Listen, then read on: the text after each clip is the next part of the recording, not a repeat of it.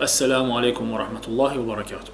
Növbəti sualımız e, çox maraqlı bir sualdır, dəyərli müsəlmanlar. Bu sual Şeyx Hüseymin rahimehullaha yönəlir və Şeyx Hüseymindən soruşurlar ki, Zəlzələ surəsi eşitmişik ki, hamilə olan qadınların doğuş zamanı doğuşlarını yüngülləşdirir Zəlzələ surəsi. Və sonra sual verən deyir ki, başqa dua zikirlər varmı ki, hansı ki insanın ağrılar zamanı o ağrılarını etsin?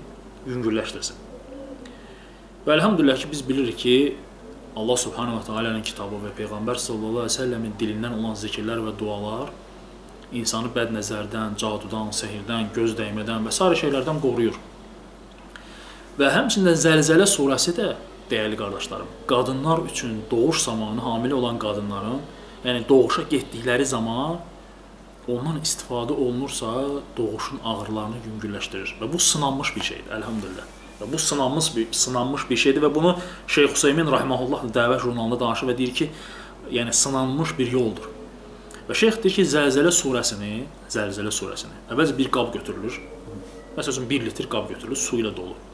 Zəmzəm suyu olsa lap gözəl.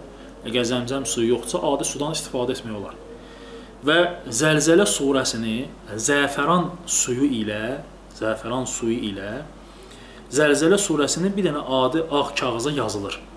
Ağ kağıza yazırsan zəfəran suyu ilə Zəlzələ surəsini. Və biz bilirik ki, Allah Subhanahu va Taala'nın kitabında olan İxlas surəsi Quranın 3də biridir. Zəlzələ surəsi isə Peyğəmbər sallallahu əleyhi və səlləm buyurur Quranın 4də biridir dəyərli qardaşlarım.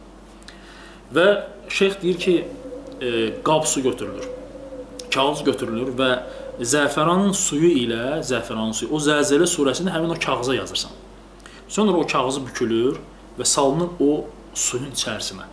O suyun içərisinə. Bir gün müddət qaldıqdan sonra doğuşa gedən qadın həmin o sudan içir və həmçində şeyx deyir ki, qarnına da sürdür. Və e, bu e, Allah Subhanahu va Taala rəhmətidir və çətin anda, ağrılı anda insanın ağrılarını yüngülləşdirir. Əlhamdülillah ki, bu sınanmış bir şeydir və bunun təsirini də görənlər olub. E, doğrusunu Allah bilir. Allaha əmanət olun.